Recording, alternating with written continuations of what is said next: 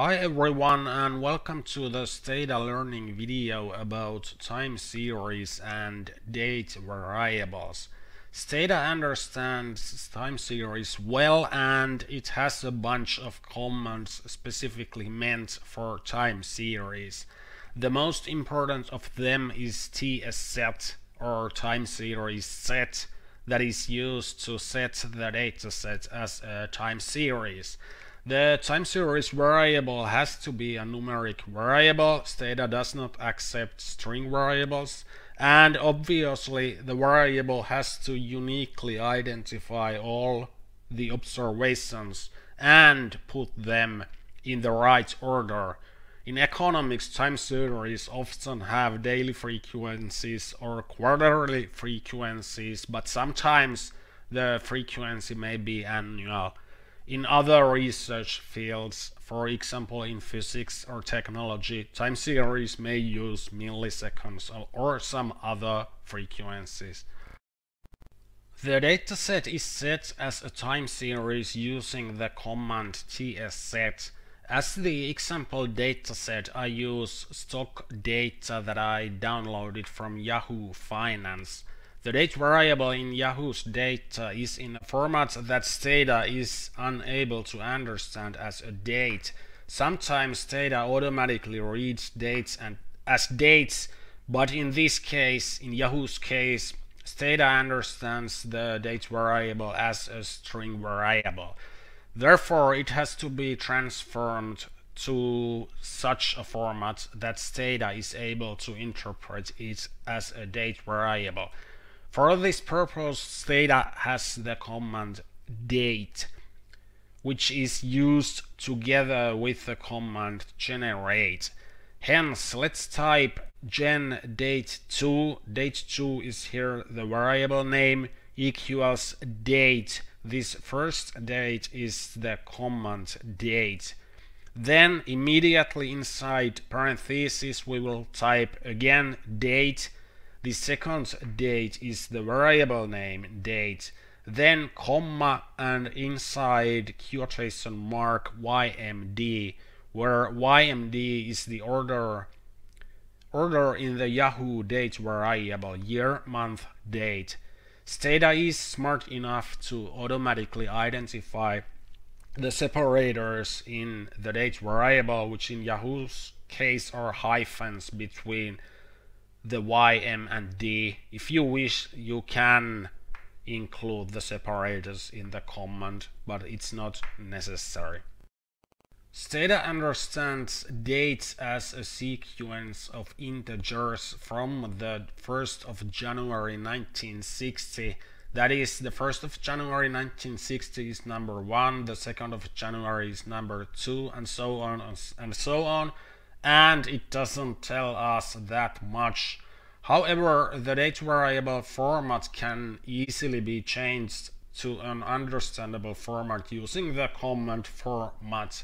In this case, the frequency of the data is daily, so let's change the format as a date by typing format date 2 then we need percent and immediately after that td, td for time day.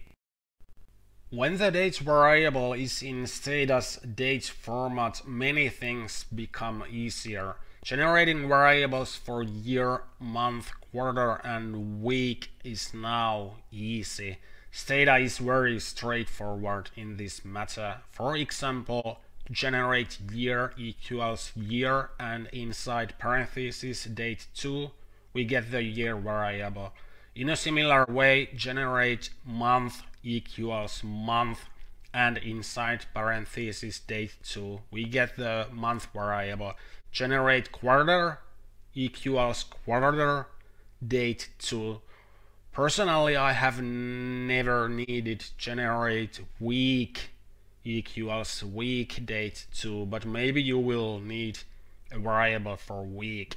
A variable for day is generated by gen day equals day day2 and a variable for the weekday can be generated using the command generate weekday, weekday is again the variable name, equals DOW, DOW like day of week, and inside parentheses date 2.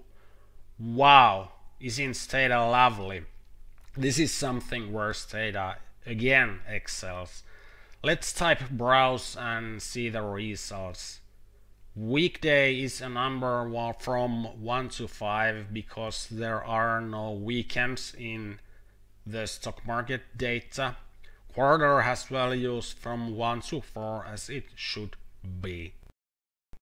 Note that stock market data should not be set as a time series by the date variable because stock exchanges are closed during weekends and holidays. If the dataset is set as a time series using the date variable, Stata is unable to compare Monday's values to Friday's values, so it interprets Saturday and Sunday as missing values. An easy way to get around this is to use a sequential number to set the dataset as a time series.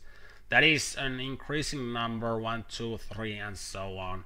It can be easily made by typing generate mark. Mark is here the variable name that could be anything equals underscore and n. Now let's type tsset mark and voila, the dataset is a time series without any gaps. But before doing this, make sure that the dataset is in the right order. Despite this, the date variable should be made because it allows for making variables for years, quarters, months and so on as we previously saw. In addition, a sequential number as an independent variable is difficult to interpret in graphs.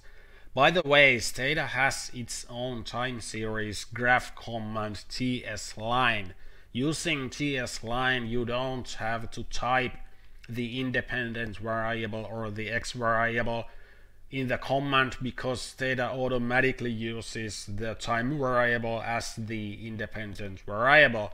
Nonetheless, in my opinion, tsline is a more or less useless command because using the common graph command line is just as easy.